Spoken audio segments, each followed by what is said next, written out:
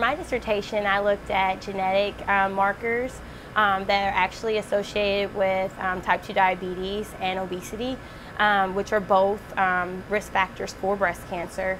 Hispanic women usually have a higher prevalence of both type 2 diabetes and obesity, so I thought it would be interesting to see if this gene also um, increase the risk or decreased the risk of breast cancer within this minority population compared to um, non-Hispanic white women.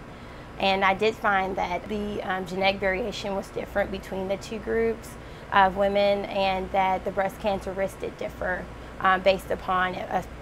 particular um, haplotype of this particular gene that I investigated. With this work that we're doing, um, we're hoping to uh, I guess, decrease the gap in health disparities, or if anything, increase the knowledge of why uh, breast cancer rates or risks differ between ethnic groups. Um, how can this also lead to um, um, more knowledge in terms of ways that we can change things such as our diet or increase physical activity and how these things affect us differently based upon um, our ethnic groups in, in, the U in the United States because uh, breast cancer incidence and mortality rates do differ by ethnicity here. So um, increasing knowledge is our, our biggest theme here.